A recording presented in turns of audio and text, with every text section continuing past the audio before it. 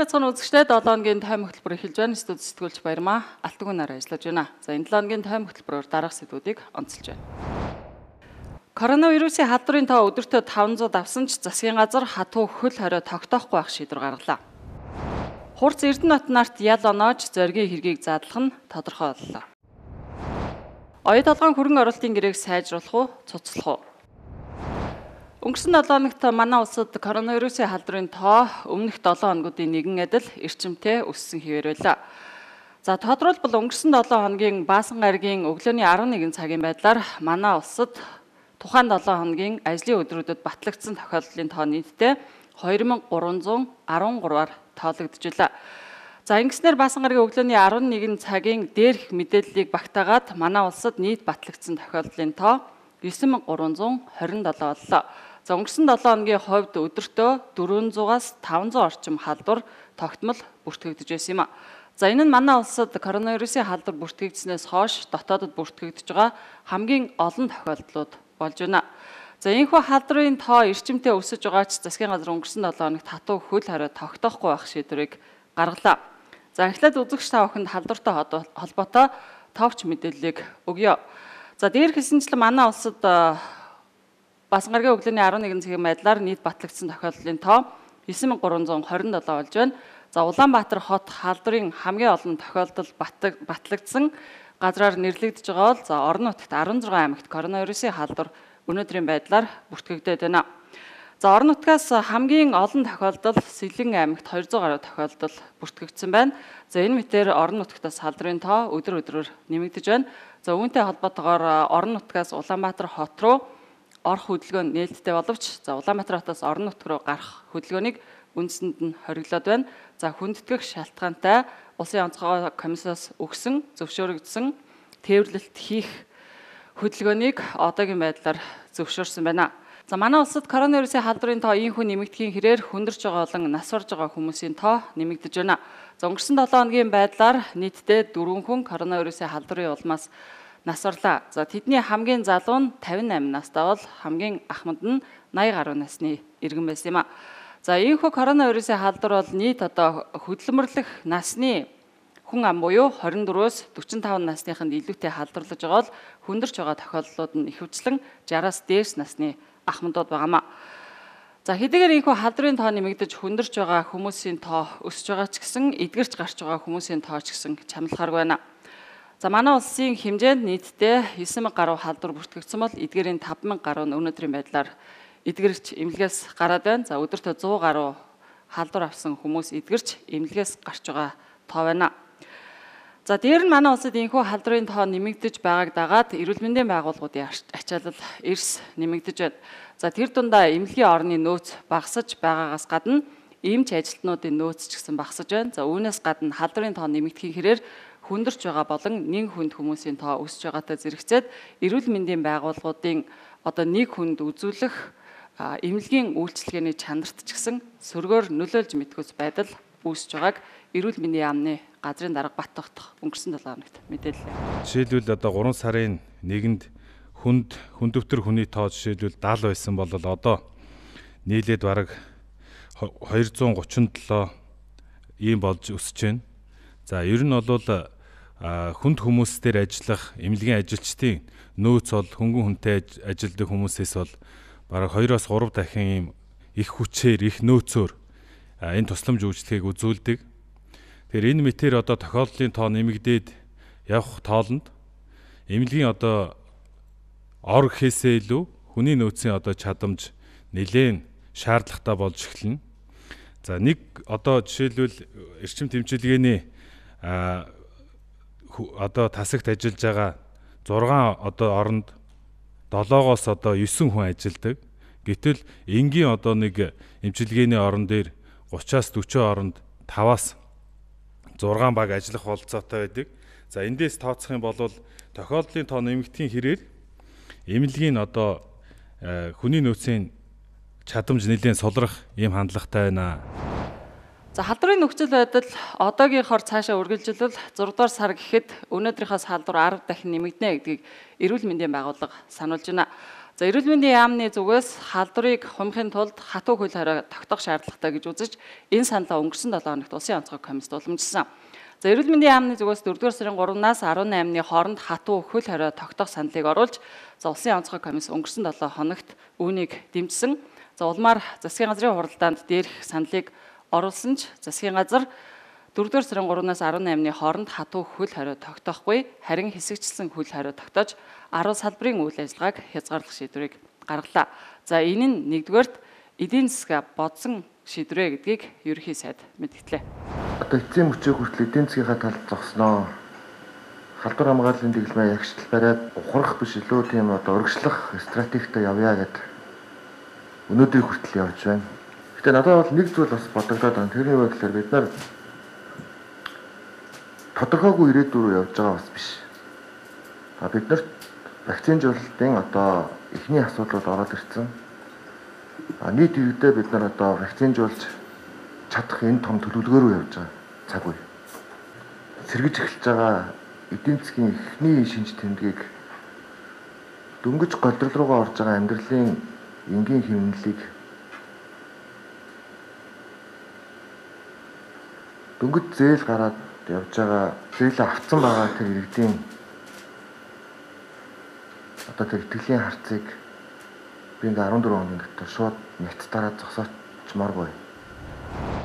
За засгийн газрын зүгээс хэдийгээр ард иргэдийн эрүүл мэнд чухал ч гэсэн эрүүл мэнд дээр нэмхэн эдийн засаг бас чухал байгаа гэдгийг онцлоод хатуу хөл харихгүй хэсэгчсэг хөл хариу тогтоож энэ хооронд вакцин жуулалтаа эрчимжүүлж а явъя гэдэг шийдвэрийг гаргалаа. За үүнээс гадна одоо тодорхой салбаруудын үйл ажиллагааг тодорхой цагуудад өдрүүдэд хязгаарлах журмыг гаргаж байна. Тэгэхээр 4-р сарын 3-наас 18-ны хооронд 15 хоногийн хугацаа байна. За энэ 15 хоногийн хугацаанд хэсэгчсэн хязгаарлалтыг ямар байдлаар хийх юм бол? Ер нь бол яг хүний бөөгнөрл үүсэж халдвар одоо тархах ийм эрсдэлтэй аж ахуйн нэгжүүдийн үйл ажиллагааг бол хязгаарлаж байна. За өнөөдрийг хүртэл бол улсын онцгой комиссийн зүгээс яг энэ халдварын тархалтыг бууруулах зорилгоор хатуу хөлөөрөөний дэглэмж шилжиж эрэхтэй бол тодорхой одоо аж ахуйн нэгжүүдийн үйл ажиллагааг хязгаарлаж ирсэн. За энэ удаа бол одоо бас зарим одоо энэ хязгаарлалтын дэглэмийг бол тогтоож байна. Мэдээж хатуу хөлөөрөө тогтоох юм бол одоо эдийн засаг бол угаасаа хүнд байдалд байгаа. За энэ бол улам одоо дордно. Дээрээс нь засгийн газар 10 их найдын төлөвлөгөөгөөд боловсруулаад энэ төлөвлөгөөгөө хэрэгжүүлээ явж байгаа. За эндээс бол одоо тодорхой хэмжээнд үр дүн гарч байна гэдгийг сангийн сайд мэдгдсэн. Өөрөөр хэлэх юм бол яг энэ 3% хүүтэй зээл гэдгийг өнгөрсөн одоо энэ нэг сар хүрэхгүй хугацаанд бол 2500 эрхэн аж ахуйн нэгжүүд авсан байна гэдэг ийм статистик мэдээлэл байна. А ингээд хатуу хөлөөрөө тогтоочих юм бол энэ бүхэн бол үндсэндээ 70-80% нь ямар ч үр дүнгүй болно. Тийм учраас нь аж ахуйн нэгжүүдийнхээ үйл ажиллагааг тодорхой хязгаарлалтын дэглэм тогтооё гэдэг ийм зарчмыг бол баримталж байна. За нэгдүгээрт нь одоо өнөөдрийн хүртэл ресторан одоо энэ зоогийн газруудын үйл ажиллагаа бол хэвэн явж байсан. За тэгвэл энэ ресторан зоогийн газруудын үйл ажиллагааг бол энэ 15 хоногийн хугацаанд бол бүрэн зогсоож байна. За энэ бол мэдээж одоо нөгөө түргээ хоолны чиглэлээр бас үйл ажиллагаа явуулдаг газруудад ч гэсэн хамааралтай. Гэхдээ энэ газрууд хүргэлтээр одоо халдвар хамгааллын дэглэмээ бариад иргэдэд үйлчлэх энэ боломж нь бол бас давхар эдийн засгаа бодож байгаа учраас нэлттэй орхиж явах жишээтэй. За амралт соёлын газрууд мөн одоо саун бассейн гэх мэт энэ газруудын үйл ажиллагааг бол бас хязгаарлаж энэ 15 хоногийн хугацаанд энэгээр бол иргэдийг үйлчлэхгүй байх ийм дэглэмийг бол үндсэндээ засгийн газрын зүгээс тогтоож байна. За ингэснээрээ нэг талдаа хатуу хөлөөрөө тогтооход шууд одоо эдийн засгийн эрсдэлд оруулахгүй тодорхой хэмжээнд энд бол одоо эдийн засгийн эргэлт бол явж байна гэж харж байгаа. За худалдааны төвүүдийг бол амралтын өдрүүдэд үйл ажиллагааг нь бол бүрэн зогсоож байна. За ажлын өдрүүдээр бол оройн одоо 20 цаг хүртэл үйл ажиллагаагаа явуулж явахаар ийм зохицуултыг бол хийж байна. Тэгээ энэ бол мэдээж одоо юу гэдгийг аа нэг талдаа иргэд яг одоо энэ дээр эдийн засгийн энэ үйл ажиллагааг нь огт зогсоохгүйгээр тодорхой хэмжээнд одоо энэ цусны хэрэглэлтийг явуулж иж бид бүхэн энэ цар тахлын одоо сөрөг нөлөөллийг бууруулнаа л гэж засгийн газар тооцсон учраас нэр нь энэ 7 хоногт ийм шийдвэрийг бол гаргаж байгаа. Тэгээд яг энэ 15 хоногийн хугацаанд бол бас тодорхой ажлууд бол үндсэндээ хийгдэхээр төлөвлөсөн байгаа. Тий. Халдварыг нэгдүгürt нь хумин, за хоёрдугаарт нь бол вакцинжуулалтыг бол эрчимжүүлнэ гэдэг ийм зорилтыг бол тавьж байгаа. За мэдээж вакцинжуулалт бол одоо удаашралтай явж байгаа гэдэг ийм шүүмжлэл бол байгаа. Өдөртөө бол нэг дээдтал нь 15 мянга дунджаар 10 мянган хүнийг одоо вакцинжуулж байна. Тэгээ энийг бол маш эрчимтэй одоо энэ 15 хоногийн хугацаанд бол явуулна гэдэг ийм одоо зорилтыг бол засгийн газрын зүгээс дэвшүүлээд энэ 7 хоногт бас гаргасан шийдвэрийг танилцууллаа. За энэ 3 сарын 4 сарын 3-наас 15 хоногийн хугацаанд за бид бол вакцина вакцинжуулалтыг бол эрчимжүүлнэ. За 3 сарын 4 сарын 2-нд эхний 300 тонн вирусил вакцин ирнэ. За 10-ны дотор 600 мянган нийтдээ ингээ 900 мянган тонн. За мөн сая 300 тонн Спутник V вакцин бас ирнэ. Энд ч ямар нэгэн биднээс шалтгааллах зүйл гарахгүй бол биднес бол вакцинжуултыг бол нэлээд өргөн хүрээгээр хийхээр төлөвлөсөн төлөвлөгөө гаргасан байгаа. За мөн энэ халдвар гараад байгаа ойрын батлагдсан тохиолдолд ойрын хадал энэ тандал судалгааны багийг бол нэлээд өргөн хүрээгээр өргөжүүлж энэ тандал судалгаа бол эрчимжүүлнэ. За мөн дээрэс нь үйл ажиллагаа үйл тасалдах одоо ялангуяа энэ том том үйлдвэр аж ахуйн нэгжийн байгууллагууд руу бол тандалт судалгааг бол эрчимтэй хийн. За ялангуяа станц гэх мэт за мөн түрүүн шадар сайд хэлсэн одоо одоо Эрдэнэ туулуурхаа гэх мэтчлэн одоо стратегийн ач холбогдол бүхий байгууллагууд аж ахуйн нэгжүүд үгүй бол тандалт судалгааг бол нэлээд эрчимтэй хийж энэ голомтуудыг бол хөнөх зорилготой байгаа. За мөн ариутгал халдвар гүйтгэлийн ажлыг бол давхар хийгээ явнаа. За тэгэхээр 4-р сарын 3-наас 18-ны хооронд хатуу хөл хорихгүй халдвар гарсан томоохоо одоо эрсдэлтэй бүсүүдэд хэсэгчсэн хөл хорио тогтоогоод за хажуугаар нь вакцинжуулалтыг 4-5 дахь сарда маш одоо эрчимтэй хийгээд явах юм байна гэж ойлголоо. За энэний хажуугаар өнгөрсөн 7 хоногт бид бас аж ахуйн нэгж байгууллагууд иргэдээс ирнэ хатуу хөл хорио тогтоох нь зөв үгүй юу гэдэг тандалтыг бас мэдээ сурвалжлагаараа авсан. За ингээд аж ахуйн нэгж байгууллагууд бол дөнгөж одоо бид нар эргээс сэргэж эхэлж байгаа энэ нөхцөл дахиад хатуу хүл хариул бид дахиж босож чадахгүй. Тийм учраас халдвар хамгааллын нэглэмээ сайтар баримтаад ажиллах хүсэлтэй байна гэдгийг илэрхийлж байсан. За иргэдийн хувьд ч гэсэн ард иргэдийн амжиргаа орлогын асуудлыг шийдэж өгөхгүй бол хатуу хөл хорих нь одоо буруу юм а гэдэг байр суурийг бол илэрхийлж байсан. За засгийн газар ч гэсэн ард иргэд аж ахуйн нэгж байгууллагуудынхаа энэ саналыг сонсох шиг боллоо. За түүнээс гадна эхлүүлсэн томоохон ажлууд үр дүнгүй болох өнөр эрсдэлтэй байгаа учраас бас одоо хатуу хөл хорио халдварыг 100% хумж чадна гэх баталгаа байхгүй учраас за одоо хэсэгчсэн хөл хорио гэдэг шийдвэрийг гаргаж явах шиг байна. За тэгээд вакцинжуулалт нөгөө талд ямар хурдтай явж байгаа юм бэ гэдэг мэдээлэл бас өгье тийм ээ өнгөрсөн 7 хоногийн баасан гарагийн өглөөний 11 цагийн байдлаар өгсөн мэдээлэлээр Монгол Улсын хэмжээнд нийтдээ 323,690 хүнийг вакцинжуулалтанд хамруулад байна. За энэ нь Монгол Улсын нийт хүн амын 10 орчим хувь буюу 6 хүн тутмын нэгийг манай улс вакцинжуулаад байна гэсэн үг юм а. Зорилт төлгийнхаа иргэдийн. За нийтдээ манай улс бол 2 сая 15,280 хүнээ вакцинжуулна гэдэг зорилтыг бол тавьсан байгаа. За өнгөрсөн 7 хоногт бас энэ COVAX хөтөлбөрийн хүрээнд Pfizer вакцин орж ирж үүнийг эрүүл мэндийн зорилтод бүлгийн иргэдтэй бас хийж эхэллээ. За Sputnik V вакцин болон Verocell гээд төлөвлөгөөт вакцинууд бас орж ирэх ёстой байгаа тийм ээ. За яг хөө ер нь бол өнөөдөр манай Монгол улсын хэмжээнд энэ вакцинжуулалт вакцины яг нөөцөндөө баригдаад бас нэг талаас нь удаашралтай явж байгаа шиг байна. За баасан гарагт бол сангийн сайдын өгсөн мэдээллээр яг 36 мянган тонн вакцин бол Монгол улсад өнөөдөр үлдсэн байна гэдэг ийм мэдээллийг бол өгсөн.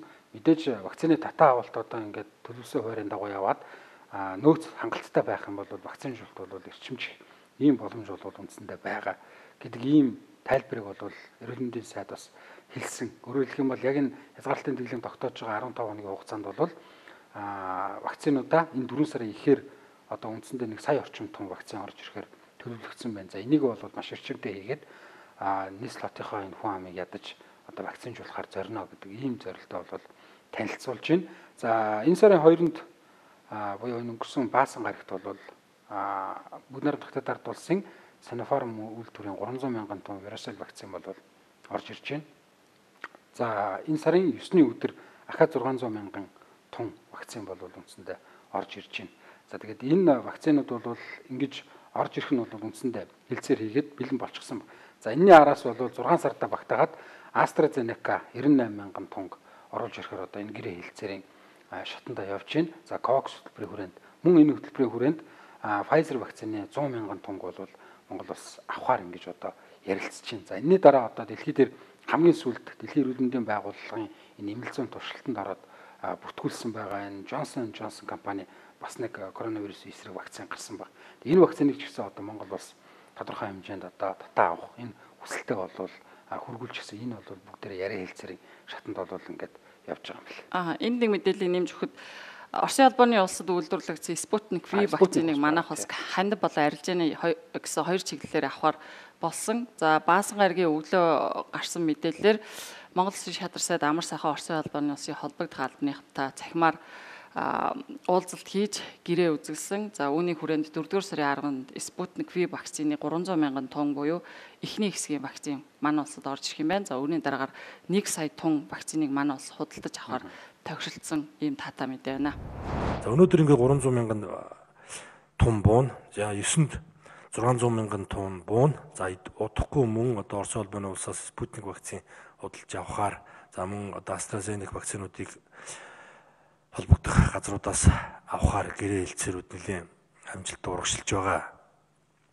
За эхний ээлжинд Улаанбаатар хот маань өөрөө маш том голомт болчиход байгаа учраас мэдээж одоо энд анхаарлаа төвлөрүүлнэ. За энд одоо вакцинжуулалтын ажил гол төв болно. За тэгэхээр манай улс бол өдөртөө 16-аас 20 мянган иргэнэ вакцинжуулна гэдэг зорилт тавьсан. За гэхдээ өнөөдрийн байдлаар өдөртөө түрүүн чи хэлсэн 10-аас 15 мянган хүнээ вакцинжуулж байна.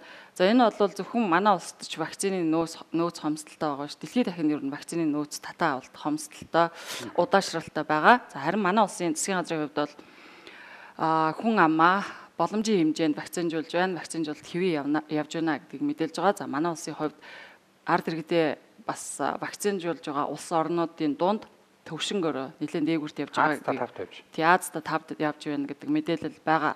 За ер нь бол засгийн газрын зүгээс боломжтой бүх шугамар коронавирусын эсрэг вакциныг авах, худалдан авах, татан авах энэ одоо боломжуудыг ирж шатараа таарах хэмжээнүүдийг авч идэвхжүүлж байгаа гэдэг засгийн газраас өнгөрсөн 7 хоногтоос мэдээлж байна. За энэ ингээд төлөвлөгөө хуваарийн дагуу явах юм бол 4 5 дугаар сарда вакцин жололтоо дуусгаад за хамгийн түрүү нийслэлийг дуусгаад дараагаар нь орон нутгийн ард иргэдийг вакцинжуулах ажил эхэлнэ гэж мэдээлж байна. За ингээд вакцинжуулалтыг бол төлөвлөгөөний дагуу бид хийгээд авчих юм бол хурдтай тархаж байгаа коронавирусын халдварыг бас барих боломжтой.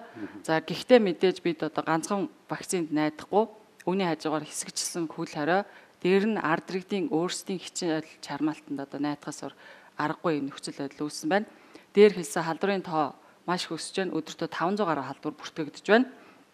За дээр нь эмнэлгийн одоо нөөцийн асуудал, хүний нөөцийн боломжийн асуудал маш одоо хүнд байдалд орсон а зөвхөн одоо Монголын эрүүл мэндийн байгууллагууд коронавирусын үйлчилгээ эмчилгээг хийдэг биш бусад одоо өвчтнүүдэд бас эмчлэх ёстой. За гэвч өнөөдөр коронавирусын халдварын нөхцөл байдал энэ мэтэр өсөд байвал бусад төрлийн эмнэлгийн үйлчилгээгээ үзүүлж чадахгүй бас одоо ард иргэдийн эрүүл мэндийн амнасанд аюул учрах ийм нөхцөл байдал үүсч болзошгүй байгаа. За тийм учраас хаа хаана хамгийн одоо хариуцлагатай цаг мөч тулаад байна гэдгийг бас сануулж хэлэх зүг эхлэхэн зүйтэй баг.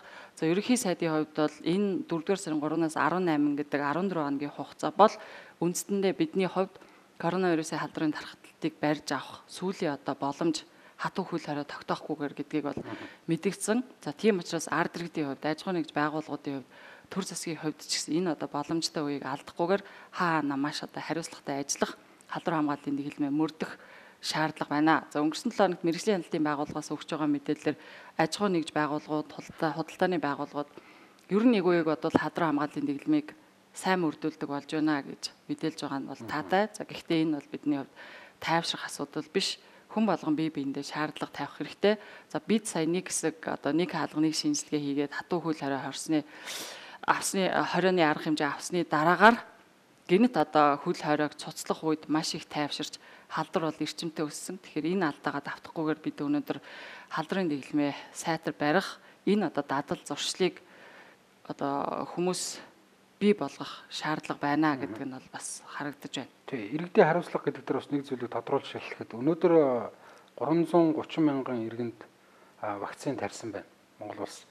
За гэтэл өнөөдөр энэ 330 мянган иргэнээс 532 нь вакцины анхны тунг хийлгээд үндсэндээ халдвар авсан байна. Аа за ер нь бол энэ хятадын вакцин тариулсан иргэд халдвар одоо арай илүү олон тоогоор авсан ийм тоо мэдээлэл бол байна. Яг энэ бол мэдээж нөгөө хятадын энэ вирусыг вакциныг арай олон хүнд хийсэн гэдгээрээ тоо төгж бол өсөж байгаа. Тэгэхээр энэ дээр бол одоо иргэдэд маш сайн анхааруулах юм шаардлагатай байна. Энэ мэдээллийг бол олон нийтэд бас хэлэх ёстой гэдэг ийм байр суурийг ч гэсэн одоо а эрүүл мэндийн яам бол баримталж байгаа. Өөрөөр хэлэх юм бол та вакцины эхний тунг тариуллаа.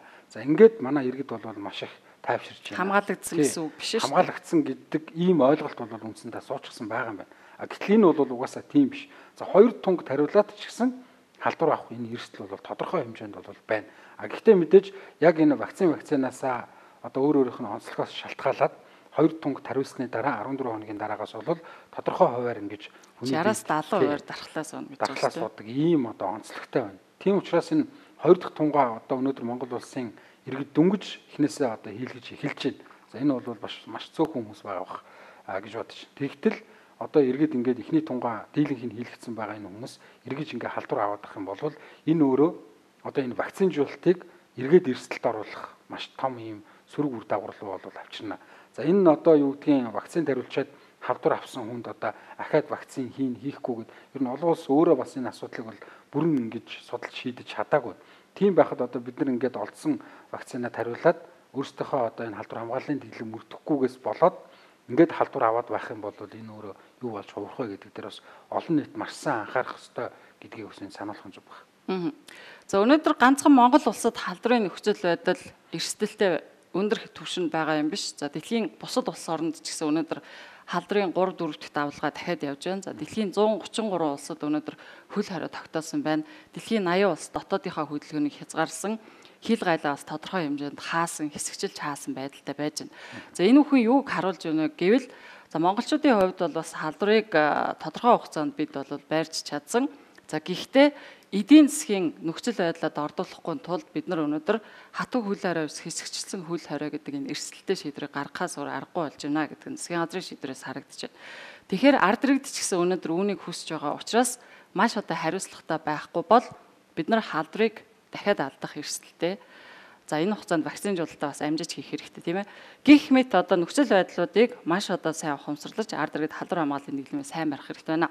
Бас нэг зүйлийг анхааруулж хэрэхэд төрийн байгууллагууд, төрийн байгууллагын ажилтнууд албаныхан ч гэсэн энэ дүрм журмыг бүх хүнд ижил тэгш үйлчлүүлдэг байхад анхаарах хэрэгтэй. За өнгөрсөн 7 хоногт нэг үйл явдал маш их олонний анхаарлын төвд орсон. Шадар сайд амар сайхны гэргий а өөрийнхөө аав ээжийг коронавирусын халдвар авсан үед нь эргэхээр халдвартай улаан бүс рүү ороод эргэж гарсан асуудал олон нийтийн дургуслыг маш их хүргэсэн. За энэ бол ер нь халдвартай улаан бүс рүү гаднаас хэнийг ч нэвтрүүлгүй нэвтрүүлэхгүй байх дүрм журамтай. За гэтэл шадар сайдын гэргий ингэс дүрм журмыг зөрчиж орсон нь өөрөө олон хүний дургуслыг хүргэж шудраг ёсыг нэхэх дүрм журмыг ижил тэгш мөрдүүлэх байх мөрдүүлдэг байх хэрэгтэй гэдэг шаардлагыг тавихад хүргэсэн.